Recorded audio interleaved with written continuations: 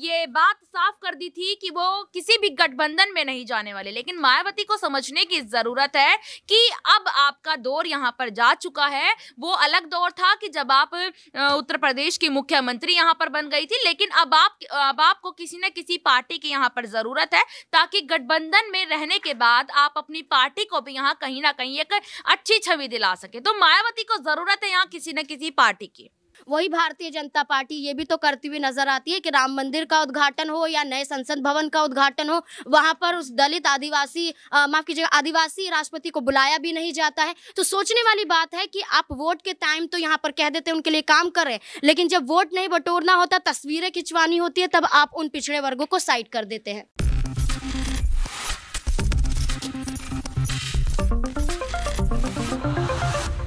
Next nine news में आपका बहुत बहुत स्वागत है। मैं हूँ आपके साथ अबरार रहमानी उत्तर प्रदेश की राजनीति में इस वक्त गठबंधन को लेकर के कई तैयारियाँ चल रही है।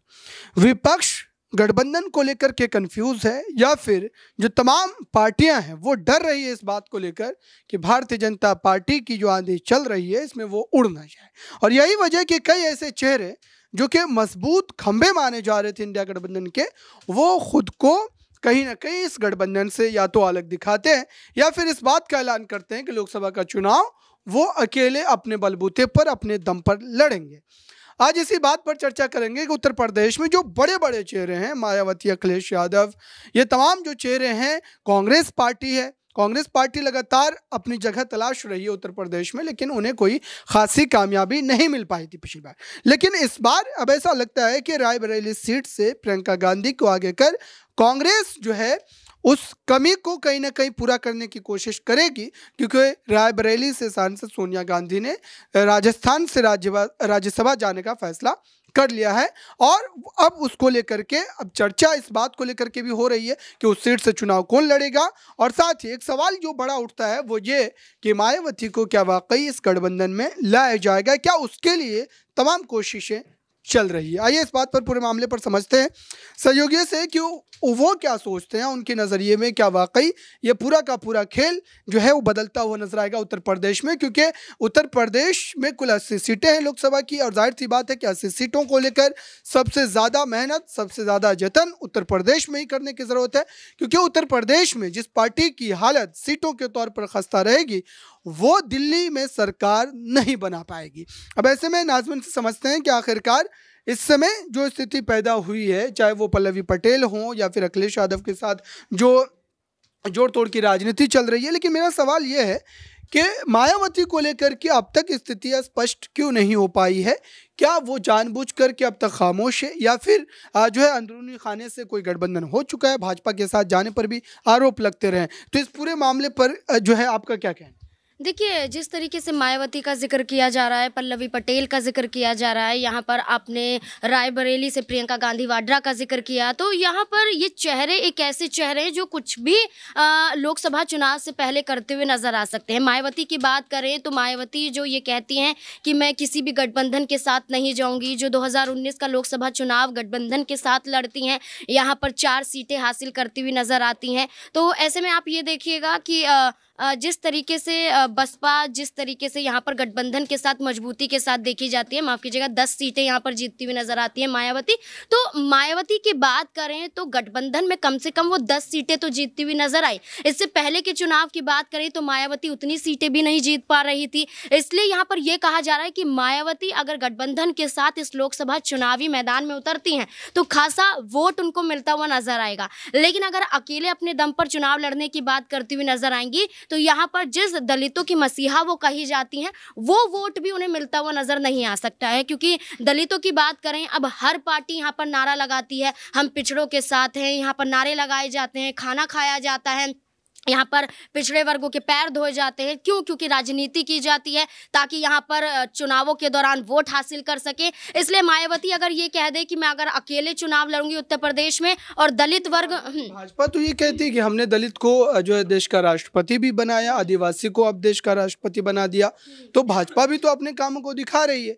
तो भाजपा को भी तो दलित वर्ग कहीं ना कहीं समर्थन देगा वोटों के तौर पर। देखिए बिल्कुल आपने बिल्कुल सही कहा। वही तो मैंने बात कही कि तमाम राजनीतिक पार्टियाँ अब वही काम कर रही है जो एक वक्त पर काम सिर्फ़ मायावती करती हुई नज़र आती थी। तो मायावती जो काम कर रही है, जब अलग पार्टियाँ भी वो काम कर रही हैं तो इसमें कैसे कह दें कि मायावती मायावती अकेले यहाँ पर वोट पालेगी? इसलिए अगर एनडीए की बात की जाती है कि इंडिया गठबंधन में अगर मायावती का यहाँ पर जाना नहीं होता है तो एनडीए की तरफ़ यहाँ पर कदम उनके बढ़ सकते हैं। क्योंकि कई बार ये देखा गया है कि इंडिया गठबंधन को चुनौतियाँ देती हुई नज़र आई हैं, यहाँ पर कांग्रेस पार्टी के खिलाफ बोलती हुई नज़र आई हैं, समाजवादी पार्टी पर इतना बड़ा आरोप लगा देती हैं कि यहाँ पर उनको जान का खतरा है समाजवादी पार्टी से तो समाजवादी पार्टी की तरफ़ अपने कदम ना बढ़ाए, लेकिन यहाँ पर वो सीधे तौर पर एनडीए की तरफ़ तो ज़रूर बढ़ सकती है और इस बात की यहाँ पर मायने निकाले जा रहे हैं। और कहीं ना कहीं जो आपने ये कहा कि भारतीय जनता पार्टी यहाँ पर आदिवासी चेहरे को राष्ट्रपति बना देती है, वही भारतीय जनता पार्टी ये भी तो करती हुई नज़र आती है कि राम मंदिर का उद्घाटन हो या नए संसद भवन का उद्घाटन हो, वहाँ पर उस दलित आदिवासी माफ़ कीजिएगा, आदिवासी राष्ट्रपति को बुलाया भी नहीं जाता है। तो सोचने वाली बात है कि आप वोट के टाइम तो यहाँ कह देते उनके लिए काम कर रहे हैं। लेकिन जब वोट नहीं बटोरना होता, तस्वीरें खिंचवानी होती है, तब आप उन पिछड़े वर्गों को साइड कर देते हैं। बिल्कुल, दर्शकों, ये तमाम बड़े सवाल और कठिन सवाल है भारतीय जनता पार्टी के लिए कि 2024 के लोकसभा चुनाव में जिन वादों को लेकर के वो इस समय आगे बढ़ रही है, क्या जनता उसके साथ खड़ी उतरेगी?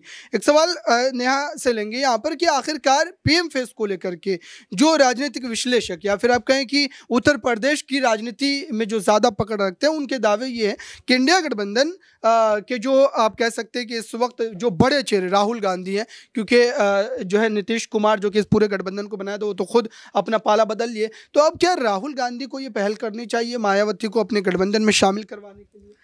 देखिए, यहाँ पर सबसे पहले मैं ये कहना चाहूँगी अबरार की जिस इंडिया गठबंधन की आप यहाँ पर बात कर रहे हैं, उस इंडिया गठबंधन में बची ही कौन सी पार्टी है यहाँ पर? अगर देखा जाए तो सबने अपने अलग अलग चुनाव लड़ने की यहाँ पर बात कर दी है, चाहे वो यहाँ पर ममता बनर्जी हो या फिर कहूँ मैं तो आम आदमी पार्टी भी क्यों ना हो? हालाँकि आम आदमी पार्टी ने पंजाब को लेकर यहाँ पर लोकसभा चुनाव को लेकर अलग बात कही है। तो आप यहाँ पर मायावती का ज़िक्र अगर कर रहे हैं, बिल्कुल यहाँ पर, क्योंकि देखिए यहाँ पर मायावती है, वो खुद से नहीं आना चाहती है। लेकिन अगर कांग्रेस की तरफ़ से ये पहल होती है कि मायावती को आप इस गठबंधन में आने के लिए यहाँ पर उनका स्वागत करें, उन्हें इन्वाइट करें यहाँ पर तो हो सकता है कि मायावती यहाँ पर इस गठबंधन से जुड़ सके जुड़ सके। क्योंकि कहीं ना कहीं कांग्रेस और समाजवादी पार्टी के बीच में तो जो तकरार विधानसभा चुनावों से देखने को मिल रही है। ये तकरार अब लोकसभा चुनाव में भी यहाँ पर देखने को मिलेगी। तो यहाँ पर कहीं ना कहीं कांग्रेस पार्टी को, मायावती को एक बार मनाना चाहिए इस गठबंधन में आने के लिए। हालाँकि मायावती ने यहाँ पर अपने जन्मदिन, जो कि पंद्रह जनवरी को उनका जन्मदिन था, यहाँ पर ये बात साफ़ कर दी थी कि वो किसी भी गठबंधन में नहीं जाने वाले। लेकिन मायावती को समझने की ज़रूरत है कि अब आपका दौर यहाँ पर जा चुका है। वो अलग दौर था कि जब आप उत्तर प्रदेश की मुख्यमंत्री यहाँ पर बन गई थी लेकिन अब आप, अब आपको किसी न किसी पार्टी की यहाँ पर ज़रूरत है, ताकि गठबंधन में रहने के बाद आप अपनी पार्टी को भी यहाँ कहीं ना कहीं एक अच्छी छवि दिला सके। तो मायावती को ज़रूरत है यहाँ किसी न किसी पार्टी की। बिल्कुल दर्शकों, इस पूरे मामले पर अब ये निर्भर करता है बीएसपी प्रमुख मायावती पर कि वो राजनीतिक मजबूरी या फिर राजनीतिक मजबूती के लिए उत्तर प्रदेश में और पूरे देश में जो है गठबंधन किसके साथ करती है और चुनाव में नतीजे उनके पक्ष में कितने आते हैं। इस खास रिपोर्ट में बस इतना ही, जुड़े रहें बड़ी खबरों के लिए नेक्शनल न्यूज़ के साथ।